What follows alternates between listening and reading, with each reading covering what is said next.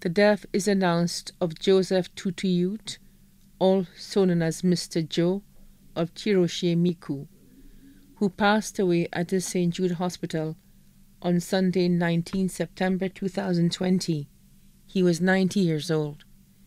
The funeral service for the late Joseph Toutouyoutte, also known as Mr. Joe, will be held on Saturday, 10th October 2020 at the St. Teresa's Chapel, Bruceville, Vieux Fort at 3 p.m.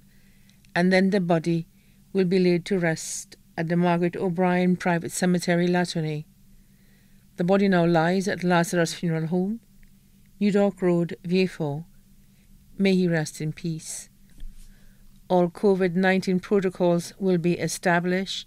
Please note the transportation will be provided for persons who are wishing to attend the funeral service at 2:15 p.m.